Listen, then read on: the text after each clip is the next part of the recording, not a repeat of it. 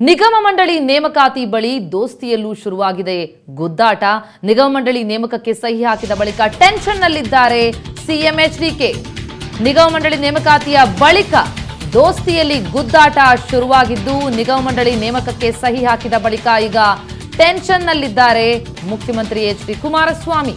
ಇವತ್ತು ಬೆಳಗ್ಗೆಯಿಂದಲೂ ಕೂಡ ತಮ್ಮ ಹೋಟೆಲ್ ರೂಮ್ ಬಿಟ್ಟು ಹೊರ ಬಂದೇ ಇಲ್ಲ.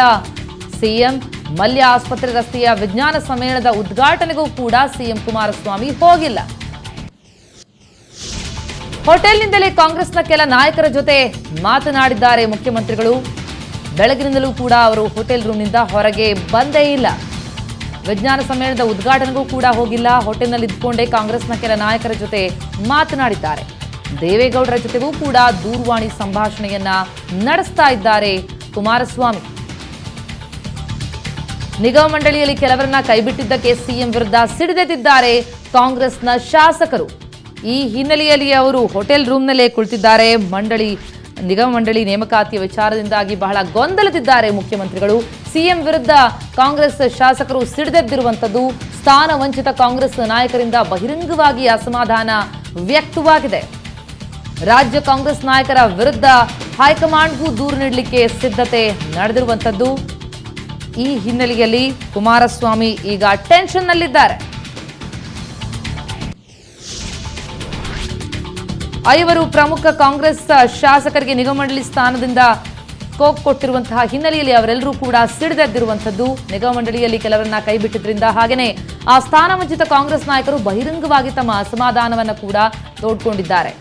ರಾಜ್ಯ ಕಾಂಗ್ರೆಸ್ ನಾಯಕರ ವಿರುದ್ಧ ಹೈಕಮಾಂಡ್ಗೂ ದೂರು ಕೊಡಲಿಕ್ಕೆ ಸಿದ್ಧತೆಯನ್ನ ನಡೆಸಿದ್ದಾರೆ. ಈ ಎಲ್ಲ ಬೆಳವಣಿಗೆಗಳು ಒಂದ್ ಕಡೆ ನಡೀತಾ ಇದ್ರೆ ಬೆಳಿಗ್ಗೆಯಿಂದಲೂ ಕೂಡ ಮುಖ್ಯಮಂತ್ರಿಗಳು ಹೋಟೆಲ್ ರೂಮ್ನಲ್ಲೇ ಇದ್ದಾರೆ, ಹೊರಗಡೆ ಬಂದೇ ಇಲ್ಲ, ಯಾವುದೇ ಕಾರ್ಯಕ್ರಮಗಳಿಗೂ ಕೂಡ ತೆರಳ್ತಾ ಇಲ್ಲ.